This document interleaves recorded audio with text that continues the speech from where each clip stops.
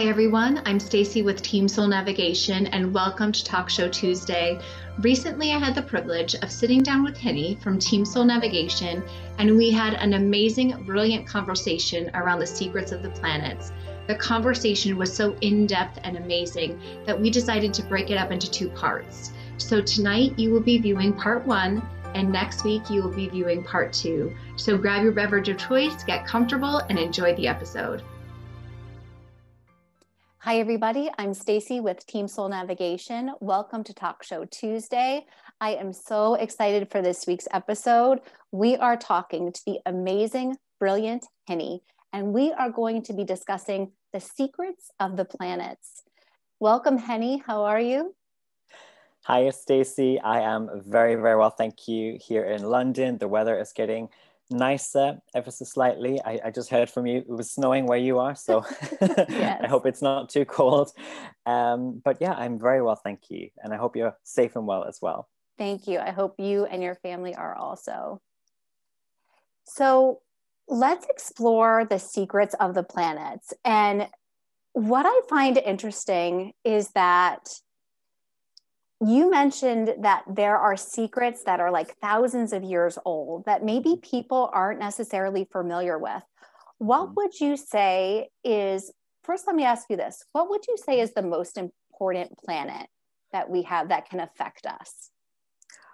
Ooh, wow, that is a very tricky question because you know what, Stacey? I think that the, the practice of astrology that I had I do is that all of the planets in our chart affect us. Um, but I guess on an individual basis, it is the ruler of your rising sign. So to mm. me, that's the most important planet for you as an individual. And then I guess if we want to talk about like the literal effects, it's going to be the luminaries, the sun and the moon. Uh, you know, if you if you walk out um, into the sun uh, without any sunscreen or sunglasses, we can really get affected, and the moon as well. Uh, we know the effects of the moon on the uh, you know the menstrual cycle and um, on the waters of the world, um, and so they they the moon and the sun I think definitely affect us um, in both ways, uh, mm-hmm. spiritually and literally speaking, and then also the rest of the traditional planets are going to be the ones to me where we are most sort of feeling the effects. So that's going to be the rest of the traditional. So Mercury, Venus, Mars, Jupiter, and Saturn. And then we have the remaining three. We've got Uranus, we've got um, Neptune, and we've got Pluto. Um, to me, they of course do affect us. To me, it's just that it's more on a sort of generational level. Um, it's more on a kind of, I always describe it as like a backdrop sort of hum type of mm. energy. It's not like right in front of our faces. It's not like the moon or Mercury even, which is often going retrograde. Um, it's much harder to capture or to, to recognize even and better actually for us to notice in hindsight. So I often find when we look at our transits, you know, if, um, if um, Uranus has gone through a whole one of our houses, we kind of feel its effects after, um, in however many years after. Um, so that would be my answer.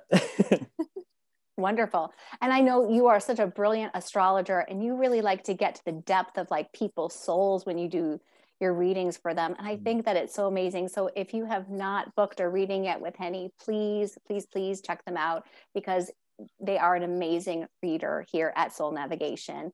Hinny, I'd like to let's talk about a little bit more about the sun and the moon because I think since the beginning of time, that's what humanity has sort of known about. And I'm sure that there are tons of secrets around the sun and the moon. So, would you like to share some of those with us? Oh, yeah. So, so in contemporary astrology um, or modern astrology, whatever we want to call it, we often um, are told that the sun rules Leo. And there's definitely a lot of crossover. There's definitely a lot of similarities between the sun and, and Leo. Literally, the sun, in lots and lots of different artistic interpretations, looks like a lion's head. Leo is the lion. So that's just one sort of thing that we get there. The, the cat the Sphinx. Um, but um, the sun is actually more, even more than in Leo, even more powerful in the sign of Aries. Wow. And um, we might kind of make that connotation because Aries is also a fire sign, like Leo. Mm-hmm. But the real reason is because the sun um, and, and Aries, rather, Aries marks the beginning of the brand new year, which we're about to be in ourselves in about a month's time. We're about to be in Aries season. Um, so when the sun is in that sign, it's like it couldn't get any better because the sun is the planet of illumination, it's the planet of realization, it's a planet of giving life, um, revitalization, um, hope, and happiness as well. And mm. when we put it in Aries, it's putting it with all that spring energy, that brand newness. And it doesn't matter if you're living in the southern hemisphere, this is spiritually speaking. So it's when we inside get that spring feeling, when our resolutions as well actually feel like they can actually be started on. mm-hmm. and you know, maybe some of us have been trying for the past couple months to to keep up with some resolution and hasn't really been working. And that might be a, a spiritual reason because the real beginning is Aries season and the sun um, really, really, really loves um, to to to light up this season most or this sign most. I love that. And I, you know, that's a great point because when we think about Aries and we think about about the spring equinox and that sort of blooming, well, it would also be the autumn equinox depending on where someone is in the the hemispheres but it in order to kind of grow something we do need the sunlight for that so it's it's like your own personal resurrection that somebody may be going through right now and can harness that with the sun depending on where that is uh, it's that are you familiar with stonehenge at all oh yeah yeah so Oh, you have beautiful. Mm-hmm. It's it's on my list of places to go once everything kind of opens back up around the world.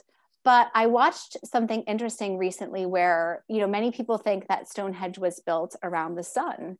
And mm-hmm. there's evidence that perhaps shows that maybe it was meant to sort of track the lunar cycles. Oh, okay. And about mm. how, you know, if we go back to the history of humanity, there's mm. that hunter, hunter and gathering um, mm. part of humanity before agriculture really took on. So mm. they felt that it was more where it represented the stages of the moon. Mm. But do you have any secrets that you can share with us about the moon? Because the moon can be, I find the moon, the moon delightful, but also mm-hmm. mysterious. There is something very yeah. magnificent behind the moon that in its mm. knowledgeable. Yeah, I, I totally agree with you. There is something very magical, mystical. I did not know this about Stonehenge. That's fascinating. I'm going to look that up later. Um, I'll send you the documentary. um, it was on Amazon. Please do. Yeah. Um, I think, yeah, the moon's kind of fascinating because the sun, of course, gets all the attention. And um, one of my friends recently said actually um, that the sun is, you know, the sun never changes its face it's constant whereas the moon is always changing its face. Mm-hmm. and um, i think if we were to that there's some way you know if you were to put together the sort of suns traveling through um, through the signs or through the sky and the moon at the same time the moon kind of snakes around um, the, the moon like that. So it's kind of snake energy almost the moon. Um, and so it does have a lot of mystery. It has a lot of um, illusion um, and I think in the in the in the tarot as well, um, the moon um, card is quite often associated with uh, Pisces. Mm. I think at least traditionally speaking, um, and Pisces as well. We're in Pisces season right now, a season of mystery, and I often say that Pisces is sort of the the second exaltation of the moon. Um, the moon likes to be in Pisces secretly mm. because that is um, the, the most removed, I think, from reality, the most removed um, uh, from the mundane. Um, and the moon, what's really interesting about the moon as well is while the sun gets all the attention, I think that the moon in traditional astrology, uh, we need to uh, bring this back that the moon actually represents the collective. So the moon mm. represents all of us together. And if you imagine like a, a sea or an ocean, uh, the tides of that massive body of water are controlled by that planet. Yeah. And so that's no small feat. Um, and, you know, there is a, a joy as well that the moon has in the third house uh, of our birth charts. And this is something else that's really interesting and amazing, and um, that not many people know. And another really cool um, and sort of, I guess, secret thing as well is that the moon in traditional astrology for the longest time has represented actually the collective, um, the, the entirety. Uh, quite like Pisces is often represented actually, the whole globe, the world. Um, and if you think of a sea or an ocean and how the, the moon is said to, to control the tides of that, that huge body of material, material of, of water, um, that's no small feat. Mm-hmm. And then in our birth charts as well, if you know how the houses work in your birth chart, look to the third house and see if you have the moon there in your chart, because that's also kind of secret thing. The moon is in joy in this house. And the reason is that, and not many people know this, but the reason is that the, the moon is actually the most receptive of all the planets. The mm. moon is the most intuitive. And we often kind of nowadays separate intuition and intelligence, but they're, they're the same thing to me. they're the yeah. same thing. Um, and I think emotional intelligence has been kind of put on the back burner but we quite often can feel something before we can sort of logically process it right and actually our mind right you probably agree with me maybe Very much uh, so. but our mind often talks us out of our gut instincts right yes um, and so unlike mercury it's the moon that actually is the fastest processor and receiver of, of information really and but it's emotional information and that's why it's at its joy in the third house and not Mercury.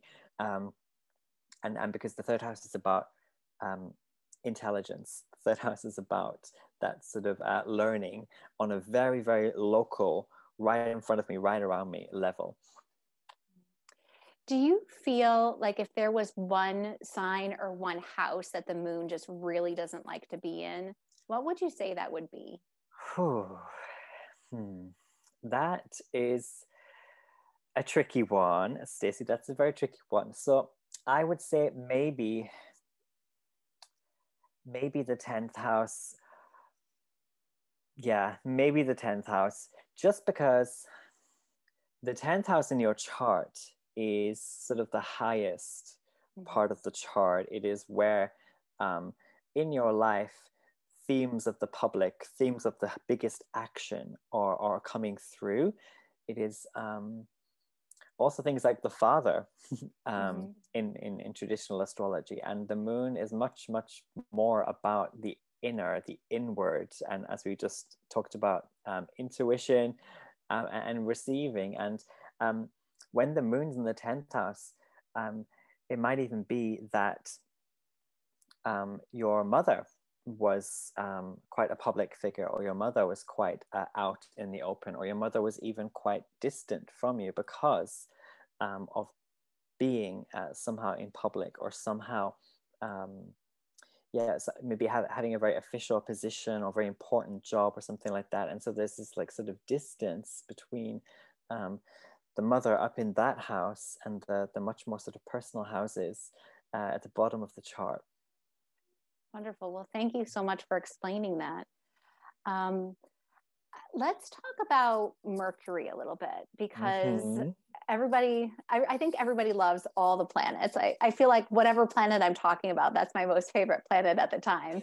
but um, when we talk about Mercury, we know that that's like the planet of communication, is, is traditionally how we would view Mercury. But is mm. there anything that Mercury like what goes beyond just communication because i feel like there's so much more there for mercury that maybe we're not always tapping into that we can you know work with the planet rather than trying to work against it. Oh gosh. Yes stacey. And, and well first of all i'm so happy that you said that you like all of the planets because i do too. And um, all of the planets are important to us. They're like our magic powers. It's our magical arsenal. And um, i hope people are, are continuously finding ways to utilize um, one planet at one particular time, you know, like uh, just finding the, the the right moment mm-hmm. to to unleash the, the the gorgeous beauty of all of the planets. And um, i do hope we get to discuss that as well today how um, it's actually a secret that all of the planets are good or all of the planets can do good you know? Um, but but but yes mercury. Um, yeah a lot of us say it's the, the planet of communication. And i think that that's there's some accuracy in that. Like it is about you know information um, systems and um, kind of intellect and uh, being very clever in the in the mental and the cerebral that kind of thing. Um, but you're right mercury is so much more. And one of the things i love about mercury one of the secrets is that mercury is also about mercantilism um, or business. And um, not many people know that or they do but they forget about it with mercury and that wherever you have Mercury in your chart can tell you how you can actually be very business savvy, how you can actually strike mm. very good deals. Um, and it's it's about not just being able to talk the talk like Mercury is often famous for, um, but being able to sort of channel mercurial energy into a deal or a trade with another person, um, mm.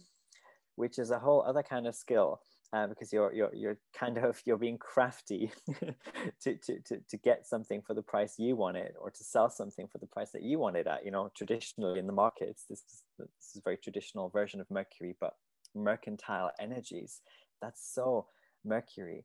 And even beyond this mercury is about um, flitting between um, worlds or dimensions. Uh, mercury when i think of mercury i think of archetypes like um, um, Nightcrawler in X Men, for example, who is um, a teleporting X Man.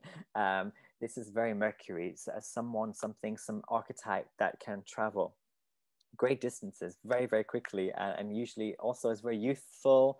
Um, very funny, very crafty, very clever, very foxy as well. It's kind of like a fox sort of spirit, fox archetype. Um, but yeah, time travel, that kind of thing is very mercurial. Um, there's a lot. And also, um, Mercury is exalted in the sign of Virgo. And this is very interesting as well, um, because, you know, Mercury in Gemini does very well as well, um, very comfortable in Gemini. Um, but because Gemini is quite an outward energy that can get us into trouble if we aren't handling our uh, Mercury and Gemini energy well. But Mercury and Virgo, it can the Virgoan energy kind of brings it more inward. It brings the energy to the darkness again. So each sign represents either the darkness or the light, and Virgo is bringing Mercury into the dark. So starting to get Mercury to just be more introspective, um, and and and to I guess think a little bit more before the speaking comes out. Um, so that's I think part of why Mercury is exalted in Virgo. So let us know in the comments if you have any of these exaltations that we're talking about, because we'd love to know. Hmm. I have a, I have a question for you on that point. So, you know, mm. with each zodiac sign, how we can have, I'm not quite sure the terminology, but we can have more of the mature aspect of that zodiac sign and what I like to call the growth aspect of it, meaning that mm. maybe it's a bit more in the shadow where there's still some learning and some maturity happening with that. Do any of the planets can they affect us differently based on almost our our knowledge of the planet or almost like our awareness of it? Do they have those different aspects within them where there's this duality? I think yes if i if i'm if i'm understanding correctly i think yes there is some um, sense of the the like if we're if we're not connected to one of the planets let's say um, for whatever reason or if we're even choosing to ignore the, the, the planet's lessons uh, and gifts then i think what happens that that planet still plays a role in our life mm. it's just that we no longer have much uh, choice or free will over that because we um, we've made that choice, right? Or, or we just haven't uh, considered it. And uh, what can happen is the energy has to play out somehow. So it will just play out. The planet will play out, and um, it will play out in any way that is of the signature of that planet. So let's say we are ignoring our just because we're talking about mercury right now let's say we're ignoring our mercury then it can play out in um, from the very very little to like you know constant typos in our emails um, you know just um, blurting out the wrong thing in conversations and social situations um, to to to much heavier or more serious things where you you um, your mercury is completely out of control and you uh, tell yourself things that are very damaging to you, you know, um, and they, they they're part of your shadow shadow side, but you're also not working with your shadow side, and so the planet can actually really start to uh, be very dark for us. Um, so I think I think that's uh, maybe does that maybe answer that question? Um, it does, yeah. The duality, yeah, because um, I think yeah they they kind of they it's it's yeah it's like we, we we study the stars and the planets and we try to learn from them um, and it's not that they they cause us to do things necessarily but that um, if we refuse to learn certain things from them then um, we're going to learn the lesson eventually anyway yeah we i i have found that you know there's when we need to learn a lesson, especially from maybe one planet, whether it's Mercury. I mean, we just got out of a Mercury retrograde right now, so we're still Aye. in this post shadow phase of it, and I still, I, I honestly feel sometimes even with the post shadow that I'm like, there's that Mercury retrograde happening, you know, with the technology or with uh, wrong words coming out or misspoken emails, and it's like I think Mercury gets a lot of attention just because we're used to it, at least in the uh, spiritual community, because of yeah. perhaps Mercury retrograde, which comes every, I mean, I think it happens three times a year, but it feels like every time it just happened and then it's come back again for a retrograde. So I think yeah. that that planet does get a lot of uh, extra attention sometimes uh, in our lives. Absolutely. Yeah. Absolutely. And I love Stacey that we we've talked about in this order as well the moon uh, to mercury because right now it's the full moon in virgo so we have mm. so if you are watching and you have natally the moon in virgo in your third house then this must be a crazy weekend for you let us know yes definitely let us know how this full moon is impacting you or has impacted you uh, since they'll be watching it next week yes but, that's right so you know, you mentioned that all of the planets tend to work together mm-hmm. in this harmonious way. Have you found like I don't really know a whole lot of history about astrology, like when it first started or how it was discovered and how certain ancient cultures used it for things because I there mm-hmm. must have been some misperception at certain times in history of what the planets were. I mean, even certainly with the sun and the moon and, and how that worked. But what would you say? What planet holds the most interesting keys of secrets throughout history that we can kind of crack open?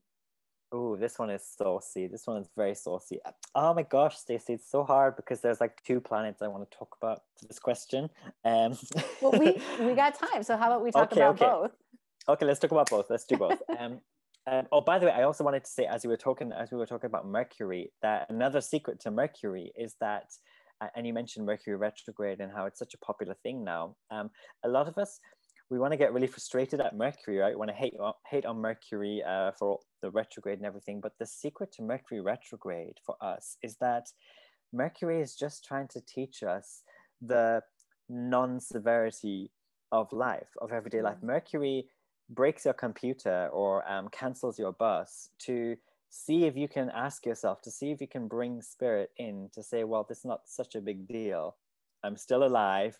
I'm still mm-hmm. gonna get to my destination, or you know, I'm still gonna have a good day. Um, Mercury stirs things up for that very deliberate reason, um, where things are not really that deep, um, and and that's deep, if that makes sense. Mm-hmm. Yes. yeah. Um, so so don't hate on Mercury, everyone, too much. Okay. yeah, I've learned to just say thank you, thank you, Mercury thank you and, yes, yes. and just kind of pause and come back to it if need be later mm-hmm. and Yeah. Mercury's a trickster as well. So be careful what you say about Mercury because you might get tricked up. yes. Um, oh, so yeah, to go back to your your next question, um, Venus. Let's start with Venus first of all. So we know from um, history and looking at the, the Mayans, for example, that Venus has in different cultures or in different parts of the world had a very different um, purpose um, compared to what we might know or think of Venus now. We might think of Venus as love and our love language, and Venus as mm, pleasure. Um, the Mayans made blood sacrifices to Venus. Um, Mm. The Mayans had a um, a whole calendar devoted just to Venus, not just to the moon or to the sun, to Venus. That's how important that planet was to the Mayans. Um, and some of these sacrifices, um, they got pretty like it got pretty intense. I mean, that, that it was mainly men, to my knowledge, who would do it. And that's very interesting as well. So mainly men would make these blood sacrifices, and they would cut um, not just anywhere, but they would um, when it got really feisty, they would cut their um, their nether regions um, as an offering to Venus, and that's fascinating to me. And yeah. um, and I do associate Venus in my readings as well, or I try to describe Venus as the planet actually of blood and flow and circulation. Uh, we often talk about Venus as vibe, like what we like, but that is really kind of like blood. If you think about it, your Mm. blood flow. You know, if Yeah. you're feeling good, if you're in the zone, your blood is flowing. You're you're well, um, and that's a, a Venusian thing uh, that's rooted in, um, in something quite um, dark sometimes, or or or very like. Uh, because this is another thing, right? Maybe you agree with me, Stacey, but sometimes Venus gets a bit downplayed as just the planet of love or the planet of I don't know, soft things. But Venus, don't mess with Venus. Like, don't mess with Don't Venus mess with Venus. Yeah. the planet itself is hotter than Mars. Not many people know that either, but it's hotter than Mars. Um, and uh, well, you, you wouldn't want to go on and walk on any of the planets, to be honest. But Venus is very hot, very deadly. Um, and Venus heavy people, they they have this way where the dark side of Venus can come out. Um, you know, this can be. Oh my gosh, you just reminded me of. Um, there was this case in Florida over there in the states, actually, um, of this woman who was murdered by one of her past partners. Um, and this woman, she uh, she must have been very Venus heavy because she loved clowns. She loved clowns, and her whole house, everything was like clown themed, uh, clown parties. Um, she just loved clowns, and she created art about clowns and all the rest of it. And um, obviously, her ex partner knew that and um, showed up at her door, and it was one of these like revenge killings, um, and um, dressed up as a clown. And she, not freaked out like a lot of people would be if a clown if a clown showed, Showed up. up, She yeah. was she was like happy, overjoyed, right? Venus is joy and pleasure and whatever you like and love. Um, but of course, that led to her um, sad uh, passing. Um, and and this is the dark side of Venus as well. Be careful what you attract and be careful what you are liking um, and vibing with because there's something all the planets can kill us just like they can bring us life all of them can kill us and venus kills us with what is sweet and um and what looks nice and cute Mhm. May be fatal.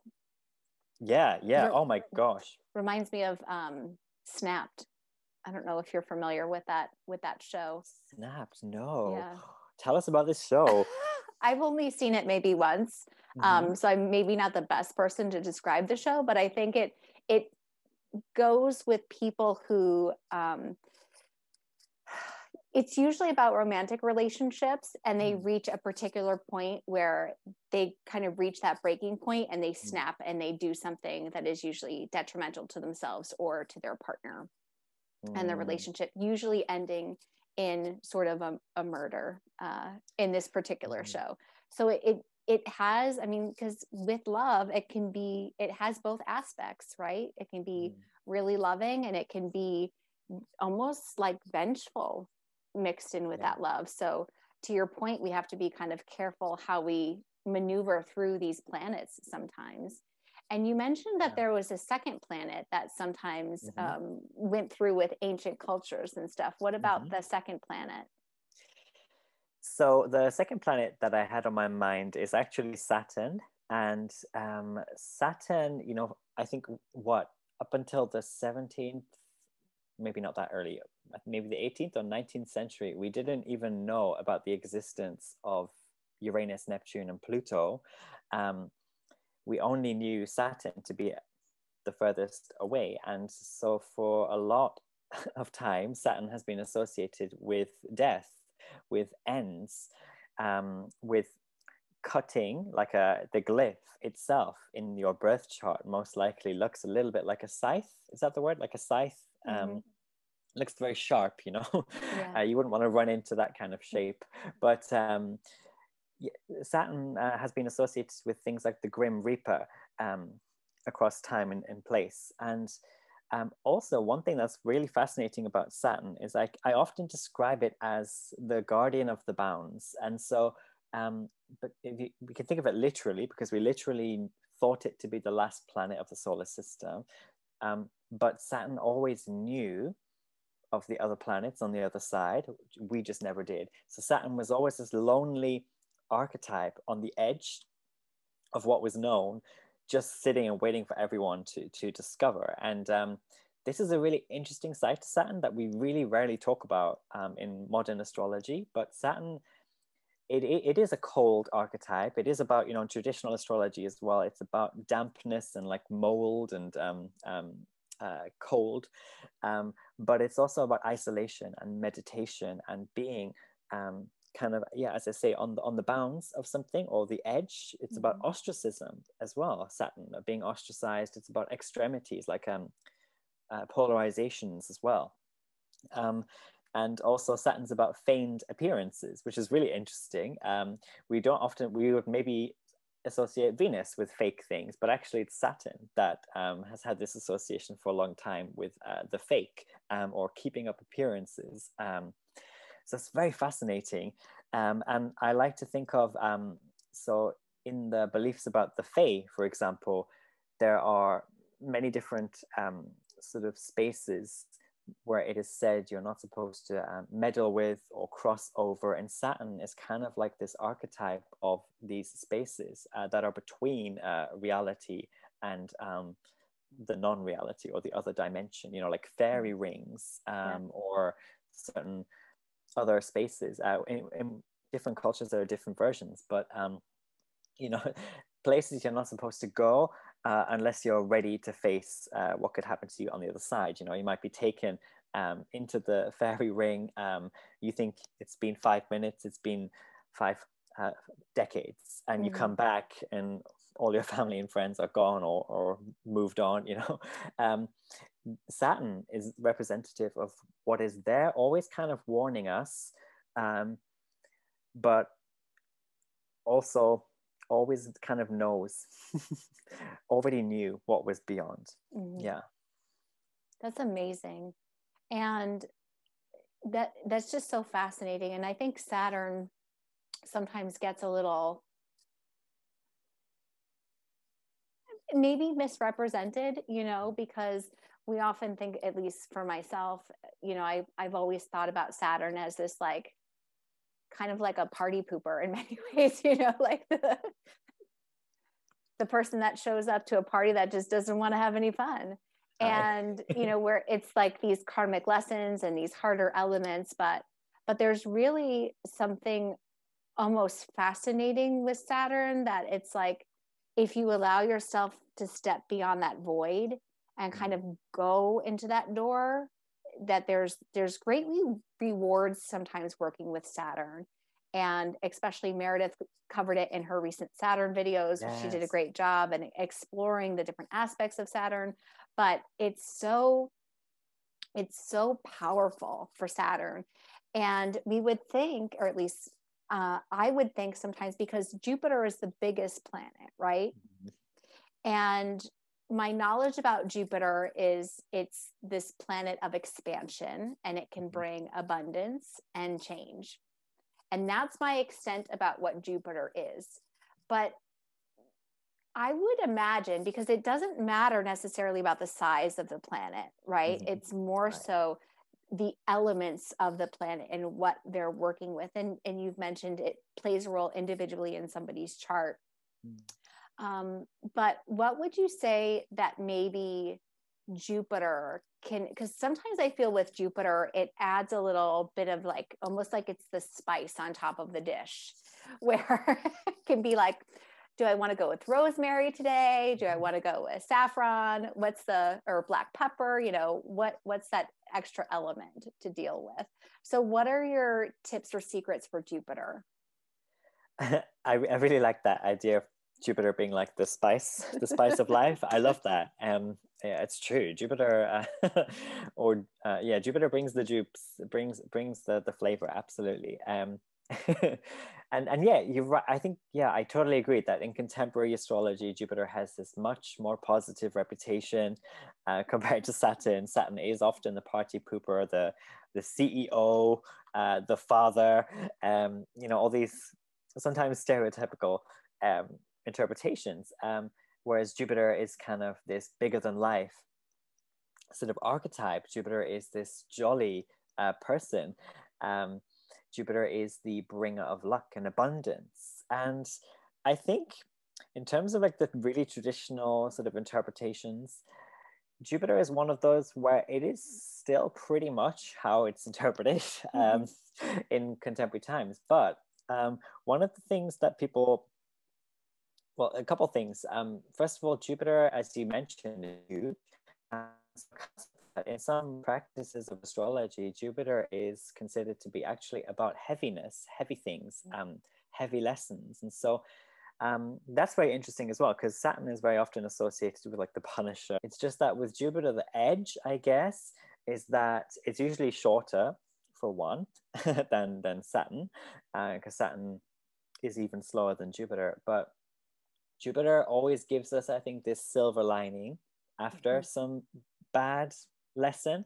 Jupiter, even if you've gone through something really, really traumatic, um, Jupiter still provides that sort of mm, little inkling of wisdom. No matter how small, it's there.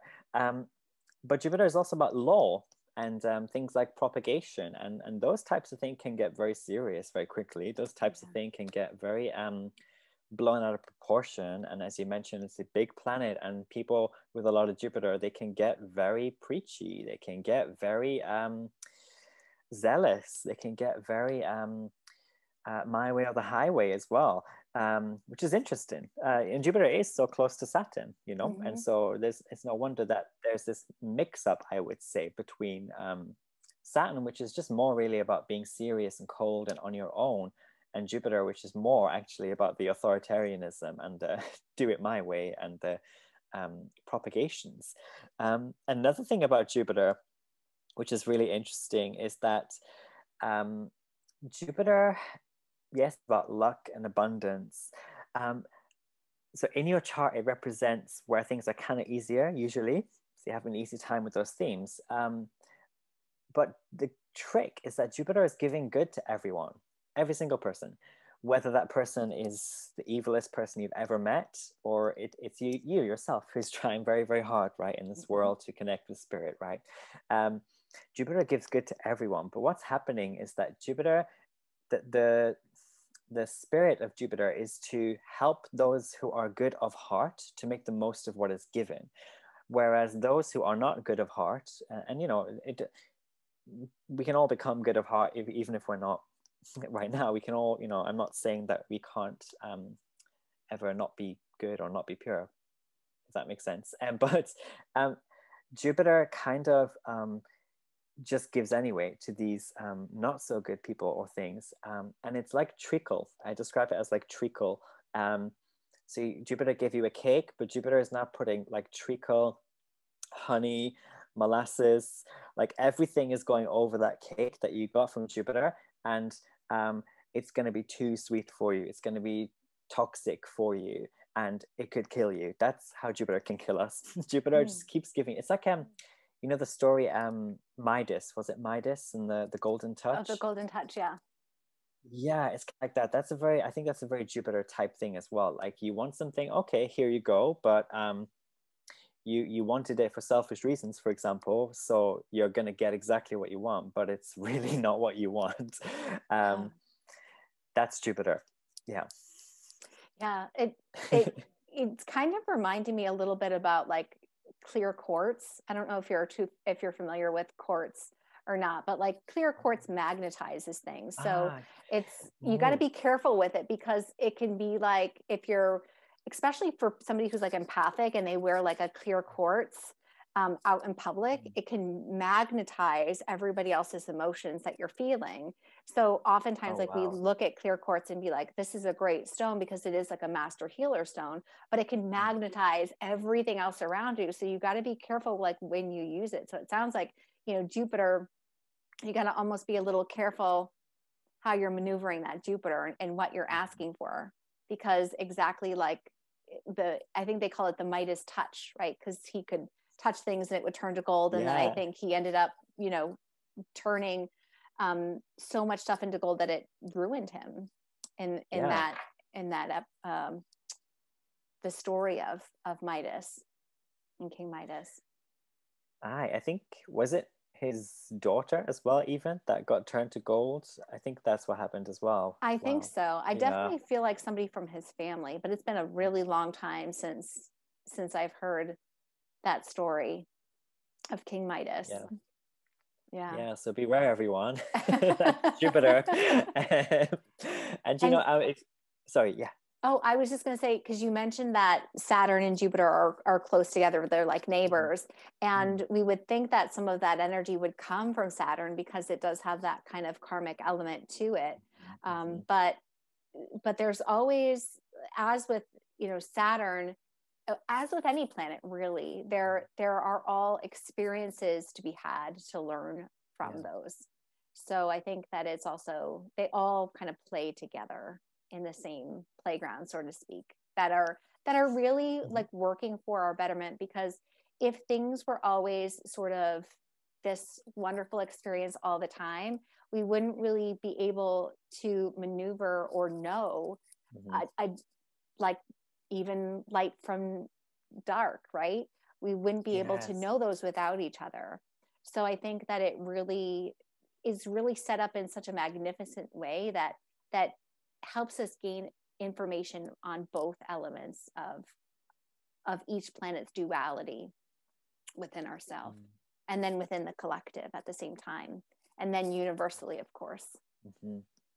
I, I, totally totally agree it is um, yeah working you know spirit astrology it is working with both the light and the shade and mm-hmm. and you, you totally bang on like each planet has both the light and the shade and we are in that playground as to say uh, working with it. And and you know if you've got um for example jupiter in the 11th house in your birth chart that's a blessing a huge blessing because jupiter is in its joy in the 11th the house of friends and allies and hopes. That's amazing. You've got jupiter in that house you're going to be mm-hmm. rained down on with hopes. But keep in mind what we just discussed like um be careful what you wish for as well. That's yeah. an 11th house thing. And um, with Saturn, the joy is actually the 12th house, that house of losses, that house of incarceration, and uh, that house of um, undoing.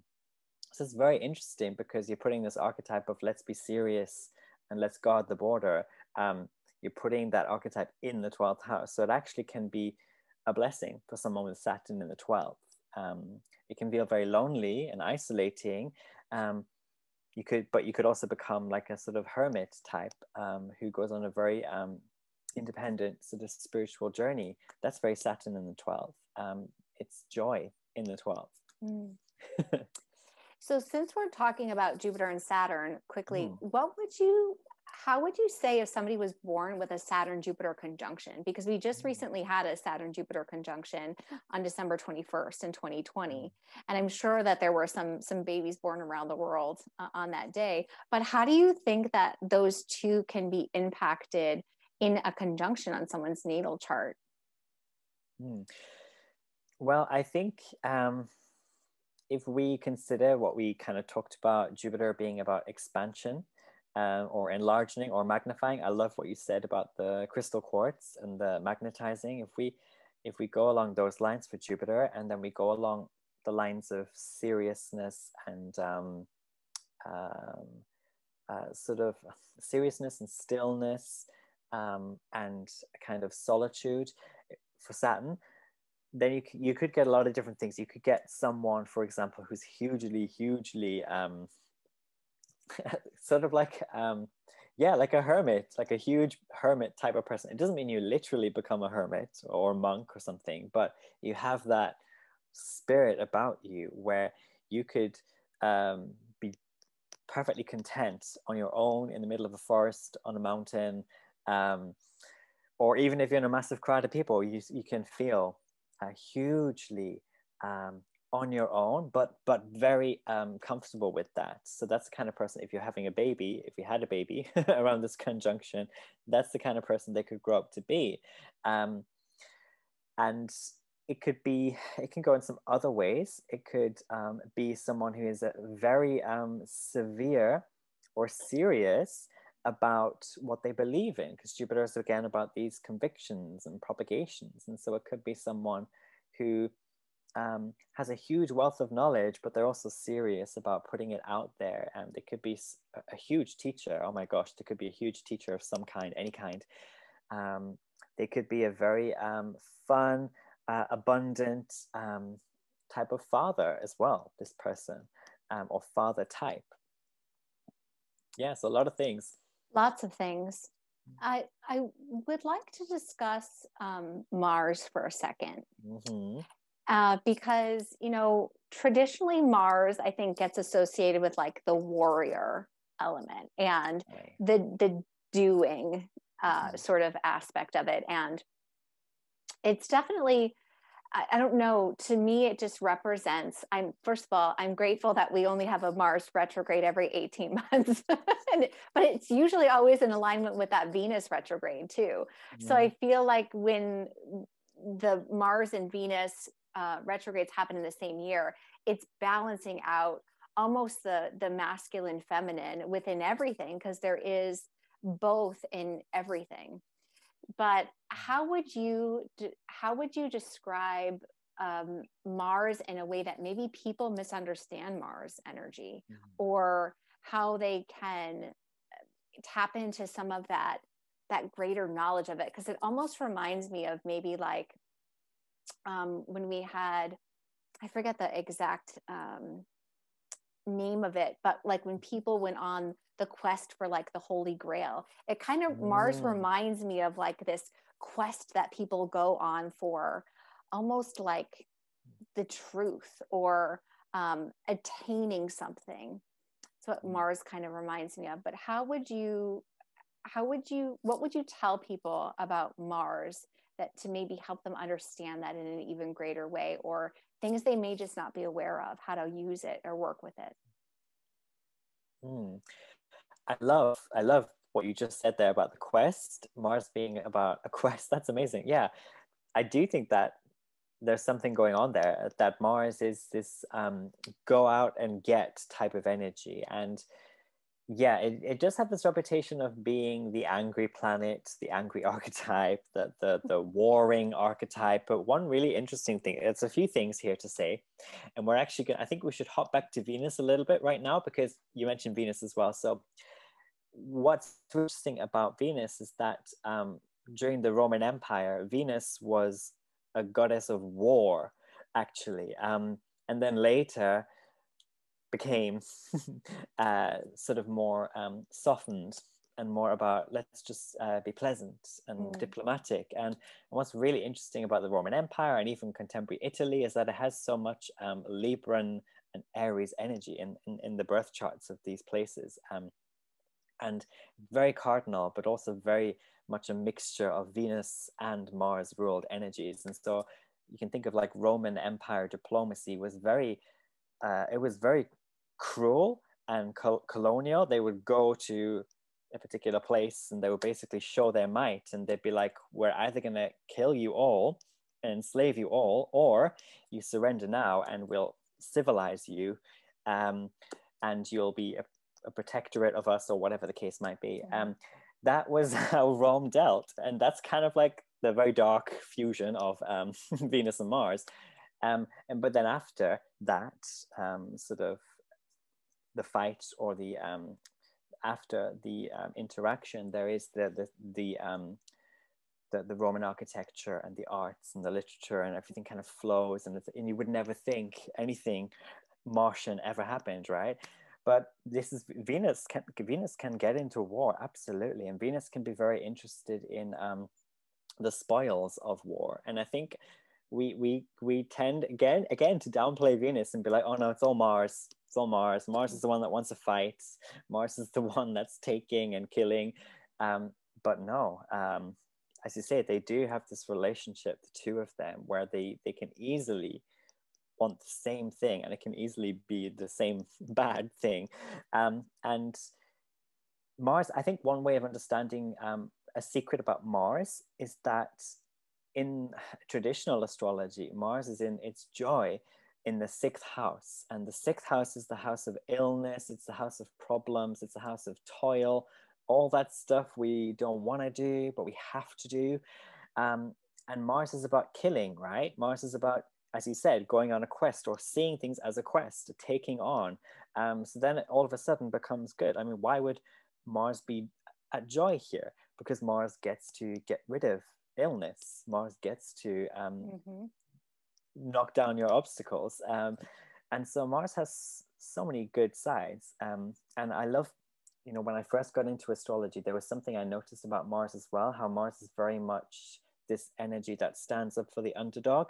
Um, Martian people, like Aries heavy people especially, they tend to stand up for people being bullied. Um, Scorpio risings tend to be like this as well. Also Mars led.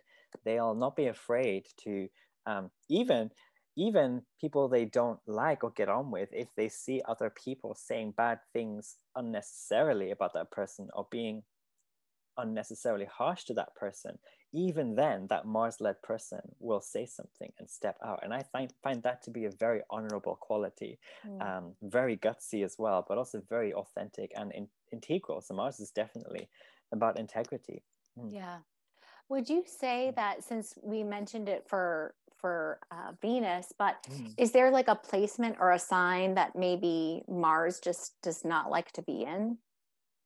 Uh, yeah, I think there are. Mars is, I mean, let's talk about this astrological year 2020, 2021. We're almost over, hallelujah. But um, this that year for Mars has been awful because Mars had that retrograde mm-hmm. in in its home sign or its domicile sign of Aries, um, which wasn't great and then Mar- Mars had to deal with a lot of squarage from the other planets in Capricorn, and then eventually got out of Aries, but then into Taurus, which is a sign it also doesn't really like to be in because it's very very slow. um, and but one thing I do think about this year that's good for Mars is that it's made Mars kind of wise this year, and we are also getting kind of wise about um, our actions, wise about mm, what we throw ourselves into, wise about the Fool card energy. You know, that's also very kind of Aries Mars. Mm-hmm. Wise about what we jump into, what cliffs we jump off, and um, and then yes, I think Mars is very soon going to enter Gemini, and then uh, I think Mars will have a great time in Gemini, and then it's going to go into Cancer, another sign where it doesn't really like to be, and then it's going to get to Leo, where it's like finally, and, and it's fire again as well, and then it's going to get to um, Virgo, which is like, oh, okay, um, and then Libra, where Mars um, really doesn't like to be either, and then I think it's really only from Scorpio season that Mars gets a good long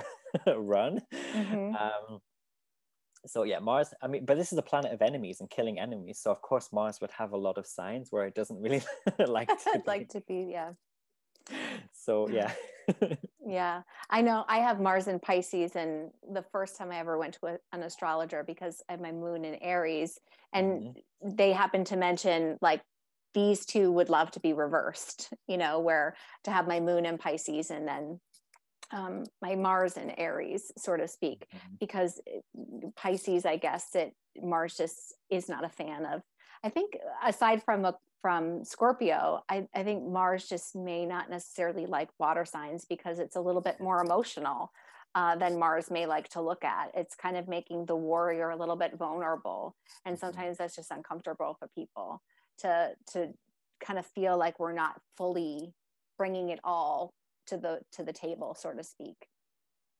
Absolutely, yeah, and and, and I often describe Scorpio as the secret fire sign um mm-hmm. and so yeah that makes sense to me as well like not really liking to be in cancer and pisces but maybe more in scorpio um yeah yeah there's this sense of yeah we're putting fire in water so it's going to be very doused and especially i don't know maybe you can tell us more about your experience but mars and pisces i often think of as like being uh, submerged um, your, your your anger and everything is kind of submerged in water and it can be like this um, it's like you know it's like sharks. You know have you ever seen sharks kind of a lot of the time even though there's lots and lots of different fishes around them they can just be cruising and cruising around for quite a while and then they'll suddenly have that snap moment that strike. Mm-hmm. um, it's kind of like that for me um, or like a panther that is hiding in the shadows of the jungle for so long and then jumps out eventually. Yes. I have found that that sometimes I don't know if it's the Mars element of it, but but sometimes where maybe perhaps people get away with things that maybe they they would otherwise not get away with things. Mm-hmm. like uh, the one thing I can think of without sort of outing myself here is in high school, I used to, me and my friends used to walk around without a hall pass and oh, no one would ever stop us you know? So we just be walking the halls no hall pass. Um, but it, it allows you know it's a little rebellious mars but i don't know. I, I feel like there's this this aspect that um, like you said like that panther and it it's kind of reminding me i don't know why spirit's showing me this um, but there was a movie oh gosh i can't remember the name it was an um, M Night Shyamalan movie. I think okay. it was, oh gosh, I don't remember, but it was about this mystical creature that would hmm. almost blend in with the grass. And oh. um, I think it was, uh, it might have been Lady of the Water or something very similar to that.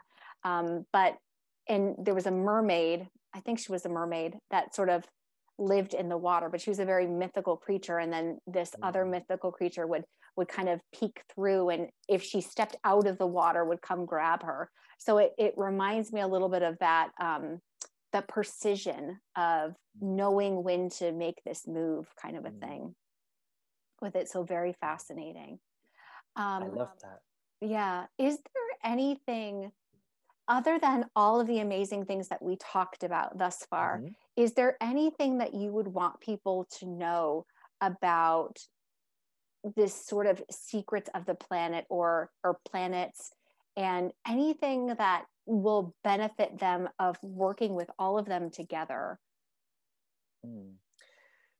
one thing there's a couple things so one thing that i recommend people to do is first of all to not worry too much about it because especially nowadays we have a lot of contemporary astrology which also adds a lot of asteroids a lot of this a lot of that and it can quickly become very overwhelming and you don't want to be you don't want to obsess or worry about it with spirit. Uh, this is just like one lens, one way to see things, but we always have to be able to step back from the birth chart or step back from the telescope um, and live our lives to the best of our abilities and the best version of ourselves. Um, so don't worry if you're having a day where you feel like you're not harnessing enough Venus or you're not harnessing enough Mars, um, because actually there are days where it's better to do so. And there are days where you kind of have to put in the cupboard some of the planets and bring out just one or two of them. Um, and that's normal. I mean, the, the, the gods themselves in many, many mythologies, they were portrayed as being quite um, um, absent at times of, cri- of crisis, uh, or, or, you know, only some of them would come out. and they kind of would be on a rotation, you know. Um, and you have to think of your chart like that as well sometimes it's like your spirit guides and stacey you have a brilliant talk show tuesday as well on spirit guides which i loved mm-hmm. watching by the way it was amazing but it kind of reminds us of this as well like mm-hmm. um maybe not all of your spirit guides come down at once right every single time but mm-hmm. They come when they in particular are needed um, for a particular situation or obstacle or message um, and but if you want to get more in touch, you can um, look at a website like planetwatcher.com, which is free, and you can actually literally see where all the planets are, and then look at your chart and kind of trace that back. And you can um, decide for yourself okay, well, Mars is in my seventh house for the next month. Um, let me, in my relationship, for example, try to be a bit more Martian or avoid more negatively Martian type things. And you can kind of say, one or two things to yourself about each of the coming transits for the month and then just like close the book and let everything kind of happen. Let the rest happen and wash over you. Um, that's one thing you can do. And another thing is that within your own birth chart and this is a kind of secret and a lot of people ask about um, their empty houses where they don't have planets in what you want to do is you want to look to the sign that starts that house where you have no planets and then look to the ruler of that sign. So let's say you have mm. Virgo starting what, that sign. So Mercury is the ruler of Virgo. You're going to look to see where Mercury is in your chart. It's going to be somewhere. Find Mercury. And that's going to give you so much secret information as to how you are actually, how that empty house is actually connected to Mercury. You will be mind blown by what makes so much sense to you now once you just look at the rulers of your 12 houses. Wow. And I think that with that, everybody should make sure that they book an appointment with you because you really, uh, you get to such depth of someone's soul with it where, you know, sometimes it can just help somebody even understand themselves in a, in a greater way of like, wow, I didn't, I always knew that, but there's a form of validation that can come yeah. from understanding yourself and understanding how the planets work uh, within the birth chart because it really is so fascinating because ultimately we kind of picked when we were going to sort of pop into the world and know all the planetary alignments and even thinking like yep i can handle that. I can i can do that. I got that you know i got it. Uh, but wow this has been so uh, so fascinating. Um, I just even feel like there's so much from, you know, maybe even, and maybe this is a topic that we can do for a different talk show Tuesday, and I think you'd be brilliant at it, but maybe explore, exploring astrology through history and how yes. different times, because I would bet maybe even like the middle ages i feel like astrology was maybe viewed differently too and i know that there's other um, i forget the term of it but there's sort of a, a, astrology system that was in place where Mercury was at the center um, of the universe, and it changes the rotation of the planet. I love it. And the collective. Well, Hinny, this has been so amazing. I'm so happy I got the chance to talk to you. And I definitely think that perhaps exploring some of those other planets like Uranus and Neptune and Pluto, because those planets, I'm mm-hmm. sure, have lots of secrets all within themselves too. So perhaps that is something that we can explore in a different episode. And definitely, if you'd like to explore those other planets, leave us a comment below and let us know, you know, if you have any questions or how this resonated for you. And again, everybody should take the opportunity to have a reading with Hinny. They are amazing. They, they will blow your mind with the astrology knowledge that they will be able to read your chart with and really get to the depths of your soul and you know explore other things on soul navigation and we thank you for joining us hinny do you have any last words for everybody just to be just be and to stay safe and well and uh, yeah i look forward to reading your comments uh, later as to how you resonated and as to how you find these uh, secrets of the planets so thank you and thank you again, Hinny. It was so nice to have this opportunity to talk with you and stay safe. And everybody watching, thank you for joining and have a great day. Thank you. Bye, Stacey. everybody. Thank Bye, you. Hinny. Bye.